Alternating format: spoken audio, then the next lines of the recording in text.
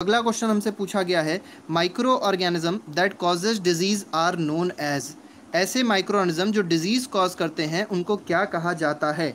ए part दिया गया है पैथोजेंस बी पार्ट दिया गया है फंगी सी पार्ट दिया गया है एंटीजन या डी पार्ट दिया गया है माइक्रोब्स तो बिल्कुल सही जवाब है सबका?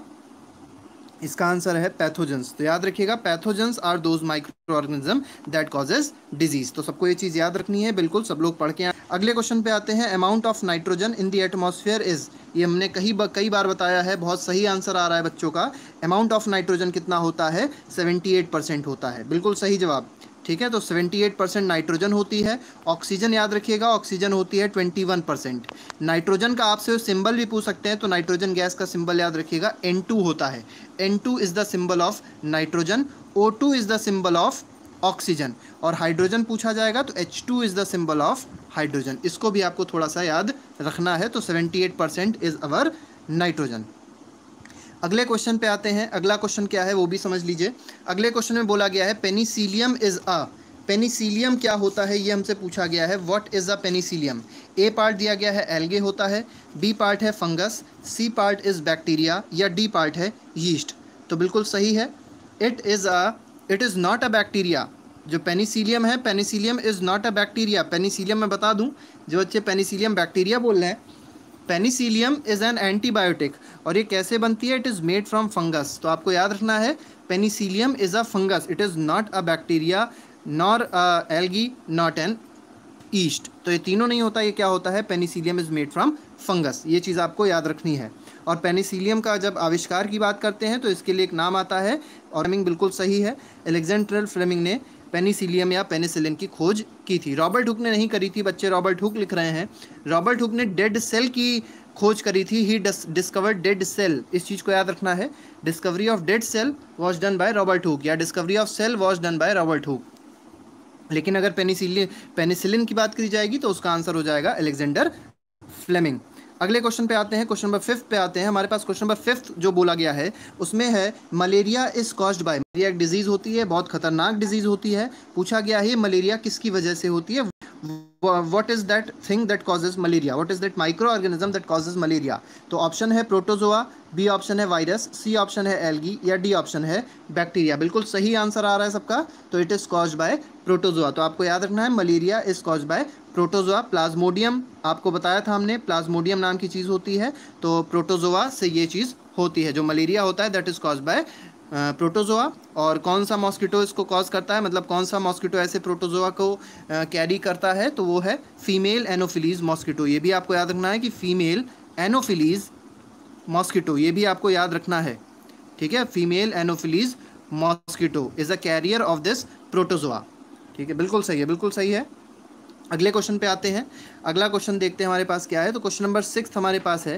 Pathogenic micro organism present in host cells are killed by medicine called इस चीज़ को आप लोग पहले समझ लीजिए क्वेश्चन क्या पूछा गया है। क्वेश्चन में बोला गया है pathogenic micro organisms present in host cells are killed by medicine called pain killer antibodies antibiotics या वैक्सीन्स किससे मतलब कौन सी ऐसी चीज़ होती है जो ऐसी मेडिसिन जो ऐसे पैथोजेंस को मार दें जो माइक्रो ऑर्गेनिज्म कहाँ प्रेजेंट हो होस्ट सेल में प्रेजेंट हो। बिल्कुल सही है तो इसका आंसर क्या है? इसका आंसर है एंटी नहीं एंटी एंटीबॉडीज़ नहीं है एंटी बायोटिक्स है। बिल्कुल सही है। इसका आंसर क्या हो जाएगा? इसका आंसर हो जाएगा एंटीबायोटिक्स अगले क्वेश्चन नंबर एट्थ देखिए। क्वेश्चन नंबर एट्थ में क्या पूछा गया है? Eighth question is AIDS is caused by AIDS is a very harmful disease बहुत ही खतरनाक डिज़ीज़ होती है। और पूछा गया है, ये एड्स किससे होता है? किस वजह से होता है? ठीक है? तो एड्स में पूछा गया है कि पहला बैक्टीरिया दिया गया है ऑप्शन दूसरा प्रोटोजोआ है सी ऑप्शन इज़ वायरस या डी ऑप्शन इज़ एल्गे बिल्कुल सही है AIDS is caused by virus जरा एड्स का फुल फॉर्म जरा लिखने की आप लोग कोशिश करिए what is the full form of AIDS तो इट इज़ एड्स का फुल फॉर्म हो जाएगा acquired immuno deficiency syndrome it is acquired ये पूछा जाता है क्योंकि मैं इसको लिख दे रहा हूँ immuno acquired immuno deficiency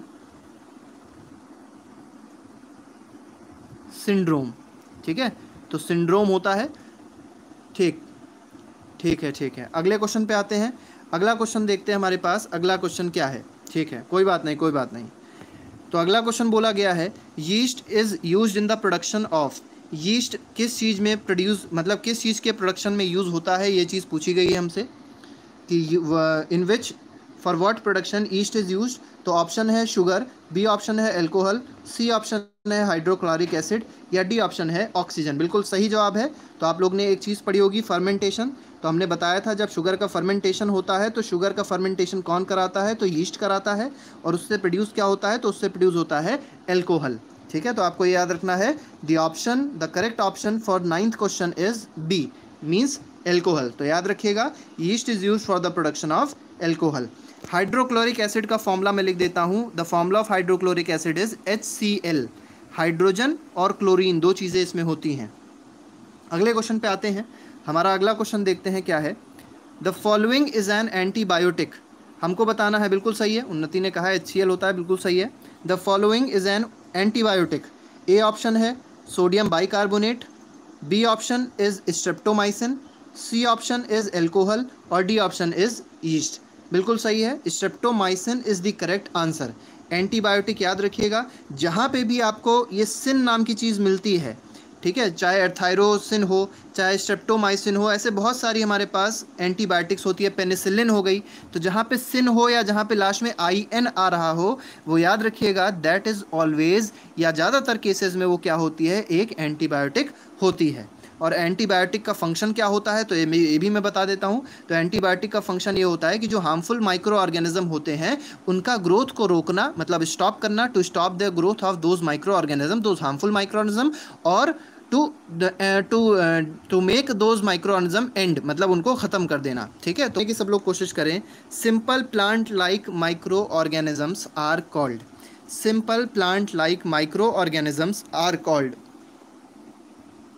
A part is algae B part is bacteria C part both A and B और डी पार्ट प्रोटोजोआ ठीक है? तो देखिएगा जो simple plant like micro organism जो प्लांट लाइक माइक्रो ऑर्गेनिज्म होते हैं, वो क्या होते हैं? वो एल्गे होते हैं। और हमने इसको आपको हिंदी में बताया था कि एल्गे को हिंदी में क्या कहते हैं? इसको कहते हैं काई। तो काई जब आप देखते होंगे ग्रीन कलर की होती है। ठीक है? इसी वजह और इसमें क्लोरोफिल भी होता है तो इसी वजह से ये ऑटोट्राफिक न्यूट्रिशन भी आसानी से कर सकती है। ठीक है? तो ये हमारा आंसर क्या हो जाएगा? The answer will be algae अगले क्वेश्चन पे आते हैं, देखते हैं हमारे पास क्वेश्चन नंबर ट्वेल्व क्या है। ये शायद कुछ ही बच्चों को पता हो। गिरडिया जो है, जो गियार्डिया जो नाम की चीज़ होती है is listed under the category of Giardia एक बहुत इंपॉर्टेंट चीज़ होती है, इससे गियार्डियासिस नाम की बीमारी होती है। ज़रा कोई बता सकता है? व्हाट इज़ मतलब ये किस कैटेगरी में आती है?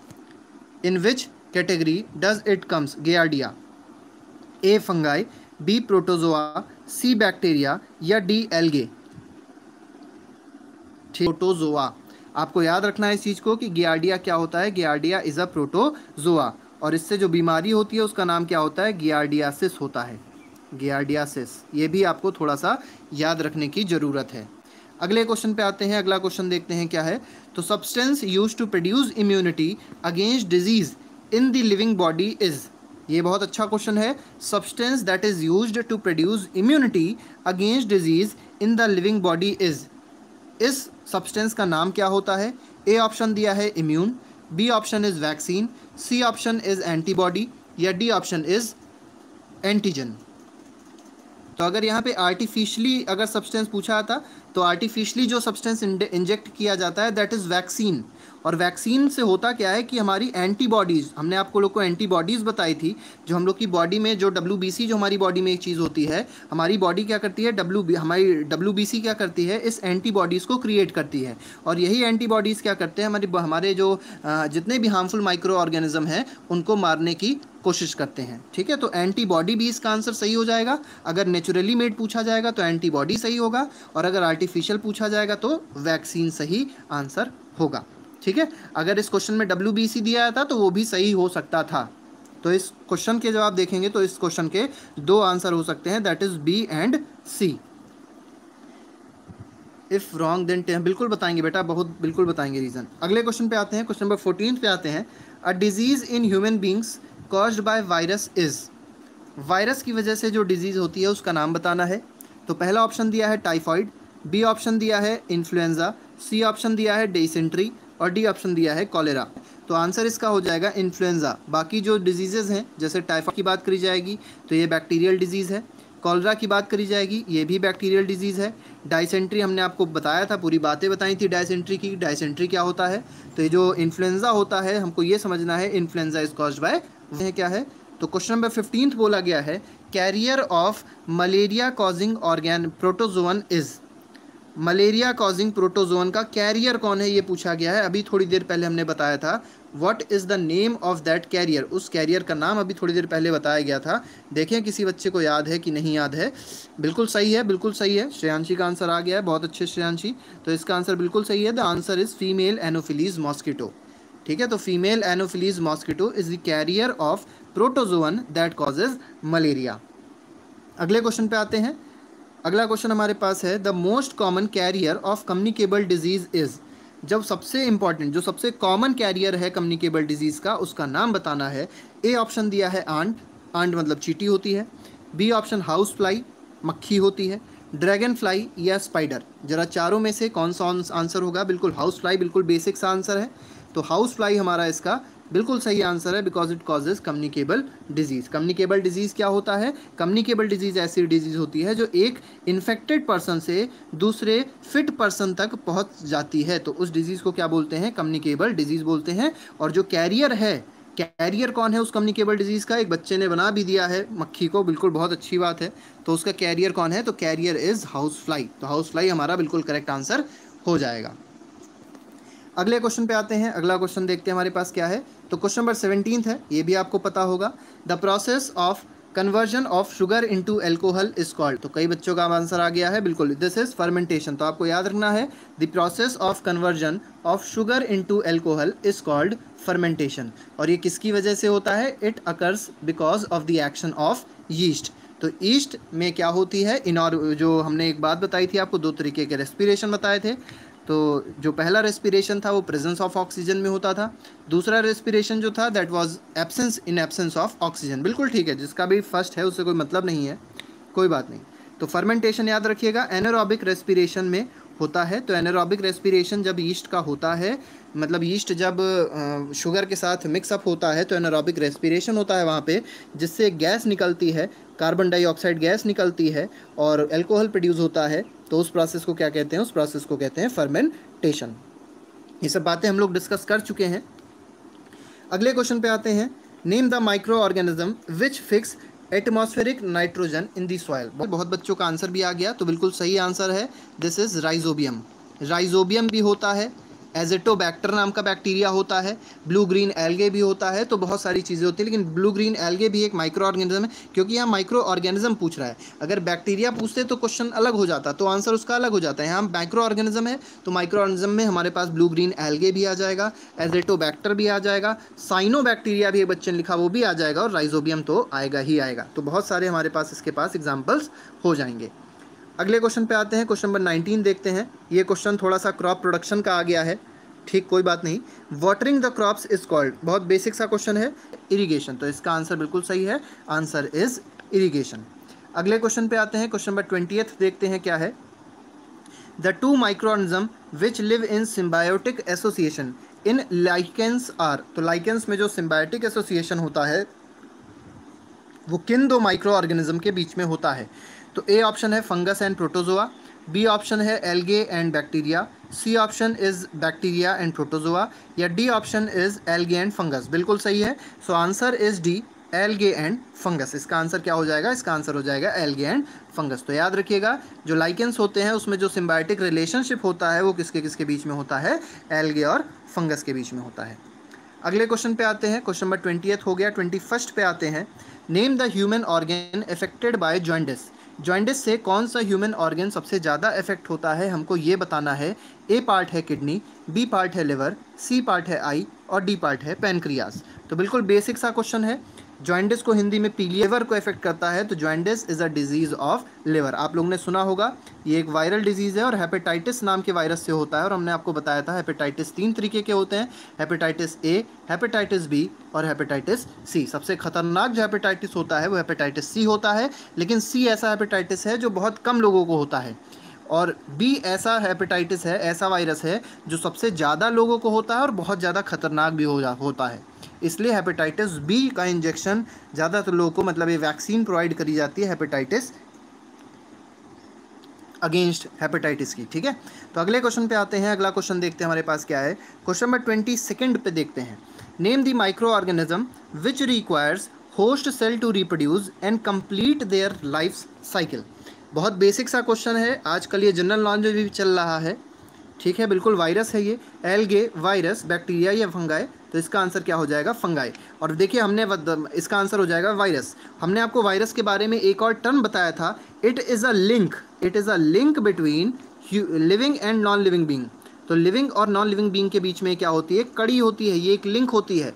और यही कारण है क्योंकि जब ये होस्ट सेल में पहुँच जाए जब मतलब ये किसी होस्ट बॉडी में पहुँच जाता है, ये होस्ट मतलब ये समझ सकते हैं किसी और बॉडी में जब ये पहुँच जाएगा तो ये लिविंग ये ज़िंदा हो जाता है। और जब ये बॉडी से बाहर निकल आता है तो ये फिर से डेड हो जाता है। तो उसका आंसर क्या हो जाएगा? इस वाले क्वेश्चन का आंसर हो जाएगा वायरस चलिए ठीक है तो बच्चों को पता है वैसे आंसर बहुत अच्छी बात है। वेरी गुड अगले क्वेश्चन पे आते हैं क्वेश्चन नंबर ट्वेंटी थर्ड देखते हैं। क्वेश्चन थर्टी थर्ड में बोला गया है Penicillium and Aspergillus are the examples of A part है एलगे बी पार्ट है virus C part is bacteria या डी पार्ट है फंगाई बहुत बेसिक सा क्वेश्चन है. अभी हम लोग ने डिस्कशन भी किया था इस पर थोड़ा सा. बिल्कुल सही है, बिल्कुल सही है. तो इसका आंसर बिल्कुल सही आया है, उत्कर्ष उपाध्याय का आंसर वैसे सबसे पहले आ गया है तो आंसर इज़ फंगाई तो याद रखिएगा, जो पेनिसिलियम जो होता है और जो एस्परजिलस होता है they both are what they both are fungi और अभी हमने बताया था, इसी पेनिसिलियम से एक बहुत इंपॉर्टेंट एंटीबायोटिक बनती है, जिसको क्या कहा जाता है? जिसको कहा जाता है पेनिसिलिन अगले क्वेश्चन पे आते हैं, क्वेश्चन नंबर ट्वेंटी फोर्थ देखते हैं what is our question number twenty fourth? तो अगले क्वेश्चन में बोला गया है Spirogyra and Chlamydomonas are the examples of Spirogyra और क्लैमीडोमोनास किस चीज़ के एग्ज़ाम्पल हैं? एलगे प्रोटोजोआ बैक्टीरिया या फंगस किस चीज़ का एग्ज़ाम्पल है? जरा हम लोग देखते हैं, बिल्कुल सही आंसर आ गया है। ठीक है? ठीक तो इसका आंसर बिल्कुल सही है, इसका आंसर है एलगे तो आप लोग याद रखिएगा स्पाइरोगाइरा और क्लैमीडोमोनास जो होते हैं, ये क्या होते हैं? दीज आर ऑल एलगे तो ट्वेंटी फोर्थ का आंसर हमारे पास क्या हो जाएगा? ए ऑप्शन ऑप्शन ए अगले क्वेश्चन पे आते हैं। क्वेश्चन नंबर ट्वेंटी फिफ्थ पे आते हैं। What is our question number twenty fifth अब देखिए, यहाँ पे एक मैच द फॉलोइंग है। मैच द कॉलम है। इसमें आपको बताना है ए पार्ट किसके साथ मैच करेगा? That is Louis Pasteur B part है रॉबर्ट कोच सी पार्ट है एडवर्ड जेनर और डी पार्ट है एलेक्जेंडर फ्लेमिंग।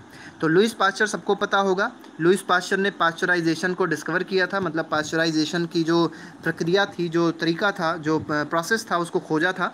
और इसी के साथ साथ अनिल ने लिख दिया है, बिल्कुल सही है, इन्होंने लिखा है लुइस पास्चर डिस्कवर्ड फर्मेंटेशन। तो याद रखिएगा, फर्मेंटेशन भी लुइस पास्चर ने डिस्कवर किया था।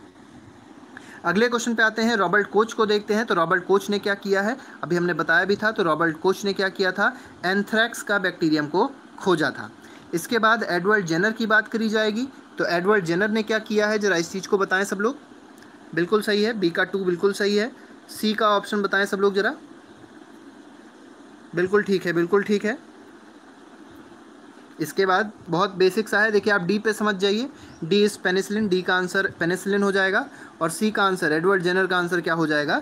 Edward Jenner discovered small pox vaccine ठीक है तो बच्चों का आंसर वैसे आ गया है सबका, बहुत अच्छी बात है।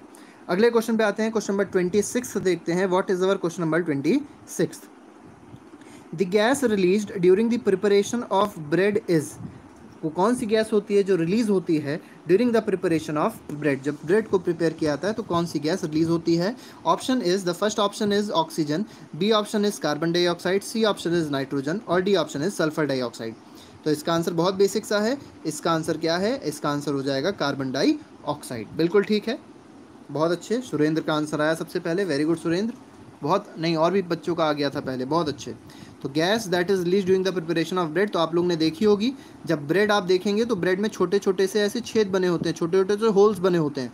वो होल्स किस वजह से हैं? तो वो होल्स कहीं ना कहीं कार्बन डाइऑक्साइड जो है, वो निकलने की कोशिश करती है, क्योंकि ब्रेड के प्रिपरेशन में हम लोग ईस्ट का यूज़ करते हैं, और जब ईस्ट का एनारोबिक रेस्पिरेशन होता है तो उसमें से कार्बन डाइऑक्साइड निकलती है, और वही कार्बन डाइऑक्साइड क्या करती है? इन ब्रेड्स में ये छोटे छोटे से होल्स क्रिएट कर देती है। ठीक है? तो it is the answer is carbon dioxide मैं कार्बन डाइऑक्साइड का फॉर्मूला भी लिख देता हूँ, क्योंकि बच्चा कुछ एक गलत फॉर्मूला लिख रहा है। Carbon dioxide is written like this C O two carbon dioxide oxygen का फॉर्मूला बताया था। नाइट्रोजन का फॉर्मूला देख लीजिए। नाइट्रोजन का फॉर्मूला होता है एन टू और सल्फ़र डाइऑक्साइड का फॉर्मूला होता है एस ओ टू क्योंकि आगे जब आप metals and non metals chapter देखेंगे तो उससे आपको ये सब चीज़ें पढ़नी, पढ़ी, पढ़ाई जाएँगी। थोड़ा सा आप लोग को ये सब चीज़ें पता होनी चाहिए। अगले क्वेश्चन पे आते हैं। अगला क्वेश्चन ट्वेंटी सेवन्थ है। क्वेश्चन नंबर ट्वेंटी सेवन देखते हैं। Which of the following disease is a bacterial disease आपको बताना है इसमें से कौन सी ऐसी डिज़ीज़ है जो बैक्टीरियल डिज़ीज़ होती है? A option is chicken pox B option is tuberculosis C option is dengue और डी ऑप्शन इज़ पोलियो तो बिल्कुल सही है।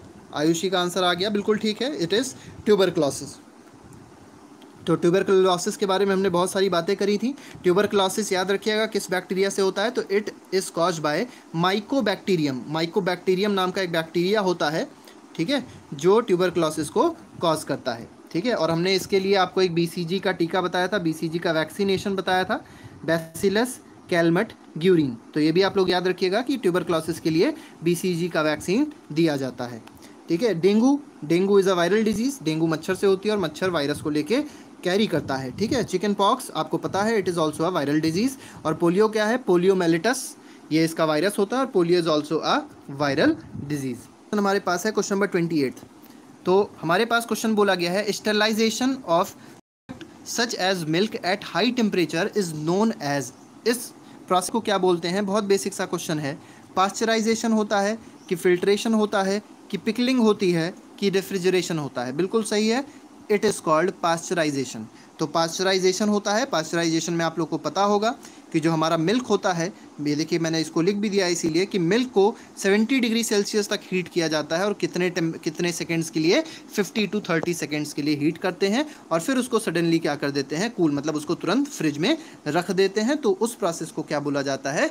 पास्चराइजेशन बोला जाता है और पास्चराइजेशन किसने खोजा था? तो पास्चराइजेशन वर्ल्ड में ही पास्चराइजेशन का डिस्कवरर है और वो कौन है? Louis Pasteur. तो लुइस पास्चर को आपको याद रखना है कि लुइस पास्चर ने दो चीज़ें करी हैं। एक पास्चराइजेशन भी उन्होंने खोजा है और साथ ही साथ उन्होंने फर्मेंटेशन की भी खोज करी है। अगले क्वेश्चन पे आते हैं। अगला क्वेश्चन देखते हैं। Which of the following disease is communicable disease इसमें से कौन सी ऐसी डिज़ीज़ है? Which is a communicable disease तो ए पार्ट दिया है diabetes B part is chicken pox C part is Alzheimer या डी पार्ट इज़ अस्थमा तो बिल्कुल ठीक है। दिस इज़ चिकन पॉक्स, बिल्कुल सही है। इसको चेचक भी बोला जाता है हिंदी में। तो चेचक, याद रखिएगा, चिकन पॉक्स इज़ चेचक, और ये किसकी वजह से आता है? ये एक बैक्टीरियल, ये एक वायरल डिज़ीज़ है, ठीक है? और ये कैसी है? This is a communicable disease तो डायबिटीज़ आपको पता होगा डायबिटीज़ को शुगर भी कहते हैं। तो लोगों को जब इंसुलिन में कमी हो जाती है, जब उनका जो इंसुलिन सिक्रीशन जब बॉडी में कम होने लग जाता है तो उसकी वजह से जो डिज़ीज़ होते हैं, उसको डायबिटीज़ कहते हैं। एल्जाइमर एल्जाइमर एक ब्रेन की डिज़ीज़ है। बुढ़ापे में आप लोग ने देखा होगा, जो बूढ़े बूढ़े लोग होते हैं, कहीं ना कहीं वो चीज़ों को भूलने लग जाते हैं, उनकी याददाश्त कम हो जाती है, उनके न्यूरॉन्स जो होते हैं वो कमज़ोर हो जाते हैं। तो वो जो डिज़ीज़ होती है, उसको एल्जाइमर बोलते हैं, और अस्थमा आपको पता होगा, अस्थमा में सांस लेने में दिक्कत होती है मतलब इट इज़ अ, ये एक फंगल डिज़ीज़ होती है, मैं आपको ये बताना चाहता हूँ कि this is a fungal disease, जो अस्थमा है, asthma is a fungal disease, और ये किस लंग्स, किस पार्ट को इफ़ेक्ट करती है तो इट इफेक्ट्स लंग्स लंग्स को ये इफ़ेक्ट करती है। अच्छा कोई बात नहीं, कोई बात नहीं। ठीक है। वॉट इज़ न्यूरॉन बेटा ब्रेन जो होता है ब्रेन की जो सबसे छोटी यूनिट होती है, उसको न्यूरॉन कहते हैं। जो सबसे छोटी सेल होती है ब्रेन की स्मॉलेस्ट सेल ऑफ़ ब्रेन या smallest cell is called neuron तो न्यूरॉन सब लोग याद रखिएगा, जो स्मॉलेस्ट यूनिट होती है, जो फंक्शनल यूनिट होती है that of a brain is called neuron जैसे किडनी की अगर फंक्शनल यूनिट की बात करी जाएगी तो किडनी की फंक्शनल यूनिट होती है nephron N E P H R O N nephron होती है। ठीक है? जब आप आ, किसी हॉस्पिटल में जाएँगे तो आपको दिखाई पड़ेगा एक होता है नेफ्रोलॉजी एक होता है न्यूरोलॉजी तो अगर न्यूरोलॉजी आपको जाना है तो न्यूरोलॉजी मतलब it is related to kidney ठीक है? तो किडनी वाली जो डिज़ीज़ होंगी उसको न्यूरो देखते हैं। What is our question number thirtieth bacterium present in curd is curd में जो बैक्टीरिया होता है उसका नाम क्या होता है हमको ये बताना है। तो A option is salmonella typhi B option is lactobacillus penicillin C option या D option is vibrio cholerae तो बिल्कुल सही है दिस इज़ लैक्टोबैसिलस तो आपको एक बात यहाँ से और याद रखनी है कि जहाँ पे भी आपको ये लैक्टो वर्ड मिले, आप लोग को जब भी ये लैक्टो वर्ड मिले लैक्टो का मतलब होता है which is related to milk तो लैक्टो जब भी आप वर्ड देखेंगे तो लैक्टो का मतलब हमेशा क्या होता है? मिल्क होता है। तो ये ऐसा बैक्टीरिया है जो क्या करता है? जो कर्ड बनाने में मदद करता है मतलब कर्ड के फॉर्मेशन में हेल्प करता है। तो that bacteria is lactobacillus salmonella typhi ये टाइफॉइड कॉज करता है। और पेनिसिलिन आपको पता है this is antibiotic which was discovered by Alexander Fleming vibrio cholerae ये क्या हो, ये ऐसा ये it is a bacteria that causes call किसी का बन नहीं सकता क्योंकि मैंने जितने भी क्वेश्चंस आपके एनसीईआरटी e में थे या जितने भी क्वेश्चंस आपके एग्जाम्पलर में थे, वो हर एक क्वेश्चन में ले लिए हैं प्लस और भी कई सारे क्वेश्चन हमने कवर अप कर लिए हैं। तो जो हम बता रहे हैं, उसको बहुत ध्यान से आप लोग पढ़िए और इसको कई बार रिवाइज भी करते रहा करिए। इसी वीडियो को कई बार आप देखेंगे तो वो चीज़ अपने आप आपको याद हो जाएगी। आपको लिखने की भी ज़रूरत नहीं पड़ेगी कि आपको कहीं पर नोट करना पड़े। बिल्कुल ठीक है तो क्वेश्चन नंबर थर्टी टू हम बात कर रहे थे और बच्चे आंसर दे रहे थे, बहुत अच्छी बात है वेरी गुड तो which of the following disease can be cured by antibiotics पूछा गया है कौन सी डिज़ीज़ एंटीबायोटिक्स से क्योर करी जा सकती है? तो एड्स बच्चे आंसर एड्स दे रहे हैं तो AIDS can not be cured AIDS का तो क्योर ही नहीं है बेटा। AIDS can not be cured by antibiotics B option is dengue C option is typhoid B D option is malaria तो मैं आपको बता देना चाहता हूँ कि जो एंटीबायोटिक्स से क्योर करी जा सकती है disease that is typhoid typhoid एक ऐसी डिज़ीज़ है which can be cured by antibiotics क्योंकि टाइफॉइड किससे होता है? टाइफॉइड अकर्स बाय बैक्टीरिया ये बैक्टीरियल डिज़ीज़ है।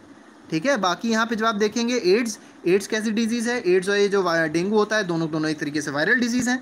मलेरिया कैसी डिज़ीज़ है? Malaria as a protozoal disease सिर्फ़ टाइफाइड ऐसी डिज़ीज़ है जो बैक्टीरियल डिज़ीज़ है। और बैक्टीरियल डिज़ीज़ ही एंटीबायोटिक से सही हो सकती है। इस चीज़ को आपको याद रखना है। ठीक है? अगले क्वेश्चन पे आते हैं, अगला क्वेश्चन देखते हैं what is our next question तो नेक्स्ट क्वेश्चन है question number thirty three agents that acts as carrier of pathogen and spread diseases are called इनको क्या कहा जाता है? तो बहुत बेसिक सी चीज़ है।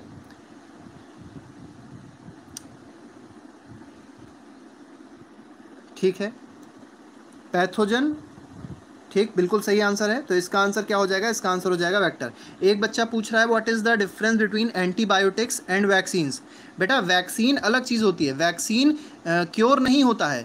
वैक्सीन एक तरीके से बॉडी के अंदर एंटीबॉडीज़ को डेवलप कर देती है। हमारी जो बॉडी है, जैसे मान लीजिए हमारी बॉडी है, अब जब हम लोग वैक्सीनेशन कराते हैं तो हमारी बॉडी के अंदर जो डब्ल्यूबीसी होते हैं, वो एंटीबॉडीज़ को डेवलप अच्छे से करने लग जाते हैं मतलब और तेज़ी से करने लग जाते हैं। ठीक है, जिसकी वजह से हमारे ऊपर कोई भी माइक्रो ऑर्गेनिज्म कोई भी हार्मफुल माइक्रो ऑर्गेनिज्म अटैक नहीं कर पाता। ये काम होता है किसका? ये काम होता है वैक्सीन का।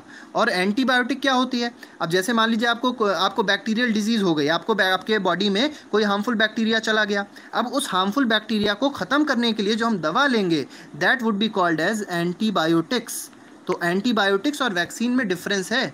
इस चीज़ को आपको याद रखना है। कि जो एंटी एंटीबायोटिक्स है, वो वो वो हमारी एंटीबॉडीज़ नहीं क्रिएट कर रही है।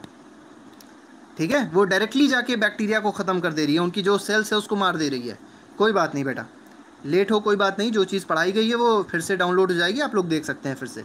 अगला क्वेश्चन जो बोला गया है तो ये सभी ने वैसे आंसर इसका दे दिया है। तो agents that acts as carrier of pathogen and spread diseases are called तो इसका आंसर हो जाएगा विक्टर्स कोई बात नहीं। क्वेश्चन नंबर थर्टी फोर्थ पे आते हैं। अ कम्युनिकेबल डिज़ीज़ इज़ अब बताना है कि कम्युनिकेबल डिज़ीज़ क्या होती है? Caused by bacteria spread from person to person spread from animal to animal या डी ऑप्शन है कॉज्ड बाय ओनली वायरस तो इसका आंसर क्या है? इसका आंसर बिल्कुल सिंपल सा है, बहुत बेसिक सा क्वेश्चन है ये। तो spread from person to person लेकिन पर्सन टू पर्सन की जगह, अगर आप इन्फेक्टेड पर्सन और हेल्दी पर्सन लिखेंगे तो ज़्यादा बेटर रहेगा। अगले क्वेश्चन पे आते हैं। अगला क्वेश्चन देखते हैं हमारे पास what is our thirty fifth question तो ये क्वेश्चन थोड़ा बड़ा है। इस क्वेश्चन में देखिए क्या करना है कंप्लीट द फॉलोइंग साइकिल इस साइकिल को आपको कंप्लीट करना है। ये नाइट्रोजन साइकिल के बारे में बताया गया है। यहाँ पे ए पार्ट दिया गया है बी पार्ट दिया गया है सी पार्ट दिया गया है और डी पार्ट आपको ए बी सी डी का आंसर बताना है तो देखिए मैं आपको बता देता हूँ। ये जो ए है ए जब आप देखेंगे तो ये डायरेक्टली कन्वर्जन हो रहा है। Nitrogen in compounds of nitrogen में डायरेक्ट कन्वर्जन हो रहा है। और कंपाउंड ऑफ़ नाइट्रोजन में डायरेक्ट कन्वर्जन कैसे होता है? तो बिल्कुल सही आर्या ने बिल्कुल सही जवाब दिया है बाई लाइटनिंग बिल्कुल ठीक है। तो ए इज़ लाइटनिंग बहुत अच्छे बच्चों को पता है। मतलब बहुत अच्छे बच्चे यहाँ पढ़ने के लिए आते हैं, ये बहुत अच्छी बात है वेरी गुड इसके बाद बी जो ऑप्शन है, जो ऑप्शन बी है वो क्या है? उसको भी पता होगा सबको बी ऑप्शन क्या है? तो बी ऑप्शन आप देख सकते हैं bacteria fix nitrogen into nitrogenous compound तो कौन सा बैक्टीरिया फिक्स करता है? इसके बारे में आपको बताना है। विच बैक्टीरिया दैट फिक्सेस तो यहाँ पे आप आंसर लिख सकते हैं इट कैन बी राइजोबियम ठीक है? तो राइजोबियम हो जाएगा और सी का ऑप्शन क्या हो जाएगा? बिल्कुल सी का ऑप्शन बच्चे ने लिख भी दिया है, उत्कर्ष ने पूरा आंसर ही लिख दिया है, बहुत अच्छी बात है।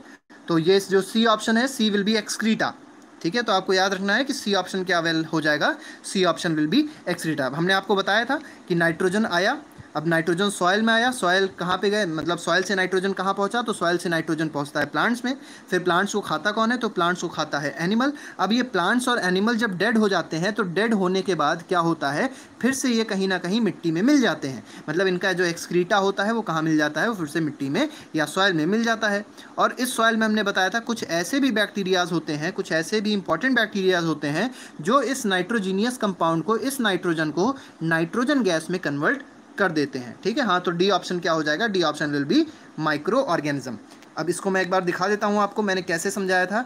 मैंने इस वाली टेबल से आपको नाइट्रोजन साइकिल को समझाया था, ठीक है? तो जिसने नाइट्रोजन साइकिल नहीं देखी है, वो एक बार क्लास एट्थ की प्लेलिस्ट में चला जाएगा बच्चा। क्लास एट्थ की प्लेलिस्ट में सभी लेक्चर्स अभी तक जितने भी हुए हैं माइक्रो ऑर्गेनिज्म के या क्रॉप प्रोडक्शन का जो भी एमसीक्यू हुआ था, उसको सब लोग देख सकते हैं। तो अगले क्वेश्चन पे आते हैं। अगला क्वेश्चन देखते हैं हमारे पास क्या है? क्वेश्चन नंबर थर्टी सिक्स है which among the following statement is not associated with food preservation food preservation से कौन सा स्टेटमेंट एसोसिएटेड यहाँ पे नहीं है? तो ए ऑप्शन है preservation of decay prevention of decay और स्पॉयलेज बिल्कुल ठीक है, ये होता है प्रिजर्वेशन में। डिक्रीज शेल्फ लाइफ ये हो सकता है, देखते हैं क्या होता है। एयर टाइट सीलिंग इसकी वजह से फ़ूड प्रिजर्वेशन होता है। स्टोरेज फॉर फ्यूचर यूज़ ये भी कहीं ना कहीं फ़ूड प्रिजर्वेशन के साथ अटैच्ड है। डिक्रीज्ड शेल्फ लाइफ का मतलब क्या होता है? आप लोग पहले ये चीज़ समझ लीजिए कि what is the meaning of shelf life देखिए, कोई भी सामान है, जैसे मान लिया कोई भी आप खाना है तो कोई भी फ़ूड है आपके पास तो फ़ूड को आप कितनी देर तक स्टोर करके रख सकते हैं? उसको बोला जाता है, उसको बोला क्या जाता है? उसको बोला जाता है शेल्फ लाइफ तो शेल्फ लाइफ डिक्रीज नहीं करता है। फ़ूड प्रिजर्वेशन में शेल्फ लाइफ डिक्रीज नहीं होती है, ये क्या होती है? ये इंक्रीज होती है। तो ये जो बी ऑप्शन है, हमारा क्या हो जाएगा? सही जवाब हो जाएगा। मतलब इसमें जो होना चाहिए, इसका करेक्ट आंसर जो होना चाहिए, वो क्या होना चाहिए? इंक्रीज सेल्फ लाइफ यहाँ पे होना चाहिए। ठीक है? अगले क्वेश्चन पे आते हैं। क्वेश्चन नंबर थर्टी देखते हैं कि हमारे पास क्वेश्चन नंबर थर्टी क्या है? तो fungus can be seen with ah fungus को कैसे देख सकते हैं? पूछ बताया बताना है हमको। तो माइक्रोस्कोप से क्या फंगस को देख सकते हैं? क्या टेलीस्कोप से देख सकते हैं? क्या मैग्नीफाइंग ग्लास से देख सकते हैं? या दोनों, ए और सी मतलब हम लोग माइक्रोस्कोप से भी देख सकते हैं और हम लोग टेलीस्कोप से भी देख सकते हैं। तो बच्चों का आंसर आ रहा है, माइक्रोस्कोप से देख सकते हैं, बिल्कुल ठीक है, लेकिन ये आंसर गलत है। कई बच्चों का आंसर बिल्कुल सही भी आ गया है तो आप, आंसर इसका क्या हो जाएगा? Both A and C fungus देखिए हम आपको बता दें कि फंगस जो होता है, fungus is can be seen by micro ये तो माइक्रोनिज्म से तो बहुत आसानी से देख सकते हैं, लेकिन कुछ फंगस ऐसे भी होते हैं जिनको मैग्नीफाइंग ग्लास से भी देखा जा सकता है। तो कुछ फंगस का साइज़ इतना बड़ा होता है that that they can be seen with even magnifying glass magnifying glass सबने देखा होगा कुछ इस तरीके का होता है, ठीक है? इस तरीके की जो छोटी सी चीज़ होती है, आपने मैग्नीफाइंग ग्लास ज़रूर देखा होगा। ये मैग्नीफाइंग ग्लास को हम लोग क्लास में अक्सर देखा करते हैं, बच्चे लाते हैं अपने जोमेट्री बॉक्स में। तो यही मैग्नीफाइंग ग्लास है। इससे चीज़ें बड़ी दिखाई पड़ती हैं। मतलब छोटी छोटी चीज़ जो होती हैं, वो बड़ी बड़ी दिखाई पड़ती हैं। क्वेश्चन नंबर थर्टी एट पे आते हैं। ये बहुत इंपॉर्टेंट क्वेश्चन है आपका। इस क्वेश्चन में देखिए क्या बोला गया है। What happens to sugar solution in A अब देखिए, ये हमारे पास एक बीकर दिया गया है। इस बीकर में क्या क्या चीज़ प्रेजेंट है? पहले तो आप ये समझिए। तो इस बीकर में एक वार्म शुगर सोल्यूशन प्रेजेंट है और यीस्ट प्रेजेंट है। ठीक है? तो शुगर सोल्यूशन और ईस्ट प्रेजेंट है। पूछा गया है कि what happens to the sugar solution in A sugar solution क्या हो जाएगा? मतलब what will be the conversion तो शुगर सॉल्यूशन आपको पता है the sugar solution will be converted into alcohol ठीक है? तो इसका क्या हो जाएगा? इसका फर्मेंटेशन होगा और एल्कोहल और कार्बन डाइऑक्साइड गैस में ये कन्वर्ट हो जाएगा। मतलब एनोरॉबिक रेस्पिरेशन होगा इस ईस्ट का। ईस्ट और इसकी ईस्ट क्या करेगा? इस इस शुगर सोल्यूशन के साथ मिक्स होके एल्कोहल और कार्बन डाइऑक्साइड क्रिएट कर देगा। तो आपको ये बताना पड़ेगा what happens to the sugar solution in alcohol means sugar solution is converted into alcohol and carbon dioxide gas is release तो देखिए, अगले क्वेश्चन में पूछा भी गया है।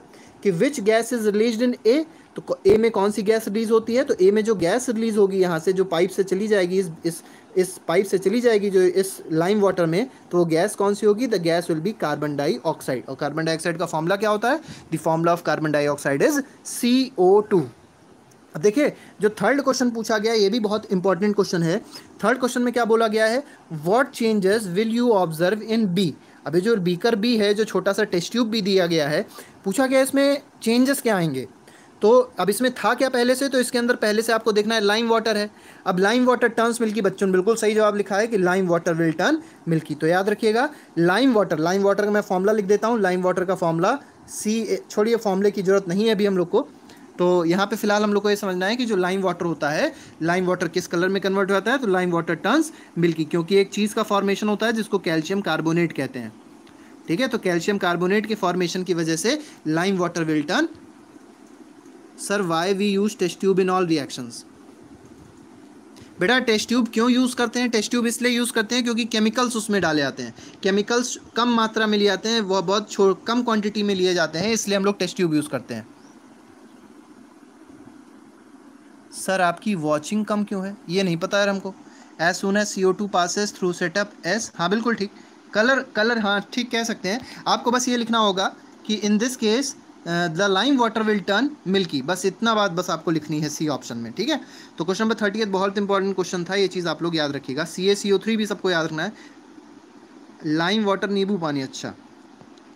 क्वेश्चन नंबर थर्टी नाइन देखिए। सिर्फ़ दो क्वेश्चन बचे हैं, जल्दी से सब लोग देख लीजिए। Name the two micro microbes that are involve in process of decomposition तो डिकम्पोजिशन का मतलब सबको पता है डीके होना। तो उस डिकम्पोजिशन के लिए कोई भी दो माइक्रोनिज्म जो रिस्पॉन्सिबल होते हैं, उनका नाम जरा सब लोग बता दें। प्रवेश कुछ कह रहे हैं। नहीं parasite is not a microbe parasite microbe नहीं होता बेटा। तनीश का आंसर बिल्कुल सही आया इसका आंसर है बैक्टीरिया एंड फंगस बिल्कुल ठीक है तनीश वेरी गुड तो इसका आंसर क्या हो जाएगा? इसका आंसर हो जाएगा बैक्टीरिया एंड फंगस। तो सबको ये चीज़ याद रखनी है कि answer will be bacteria and fungus. ठीक है। अगले क्वेश्चन पे आते हैं और लास्ट क्वेश्चन है आज का।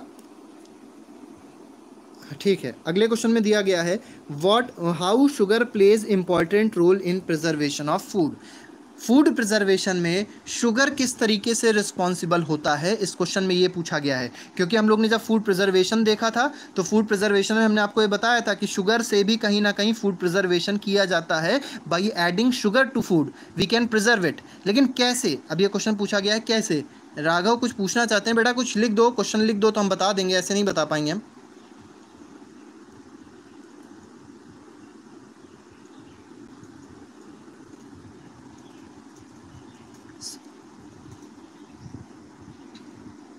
Answer me another container can't handle reaction reduces moisture बिल्कुल ठीक है। तो आपको याद रखना है कि ये क्या कर देता है?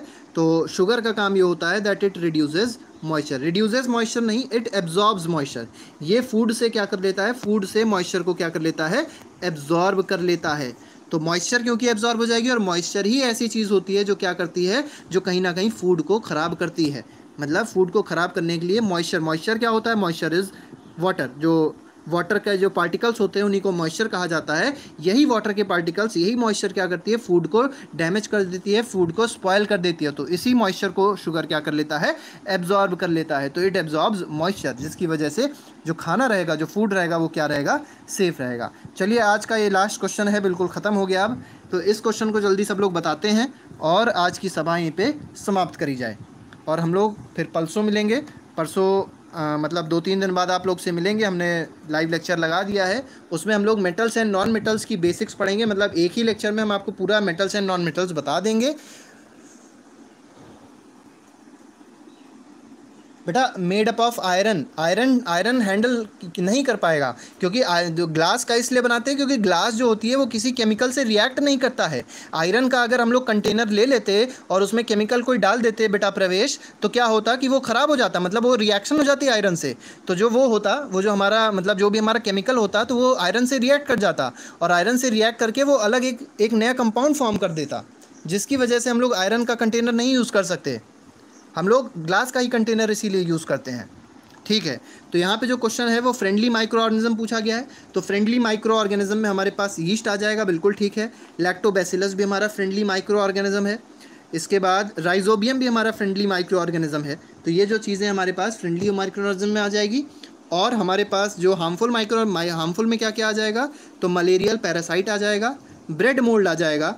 और बेसिलस एंथ्रासिस आ जाएगा, क्योंकि ये बेसिलस एंथ्रासिस क्या करता है? ये एंथ्रैक्स कॉज करता है। तो आई होप सभी को ये बात समझ में आ गई होगी। सभी को आज का लेक्चर ज़रूर समझ में आया होगा, और बहुत सारी, कई सारी चीज़ें आप लोग ने शायद नहीं भी पढ़ी हो, और कई सारी ऐसी भी चीज़ें होंगी जो आप लोग को पहले से आती भी थी। तो चलिए आज का लेक्चर फ़िलहाल यहीं पे समाप्त करते हैं। अगले लेक्चर में हम लोग मिलेंगे मेटल्स एंड नॉन मेटल्स के साथ में। Till then goodbye thank you very much जय हिंद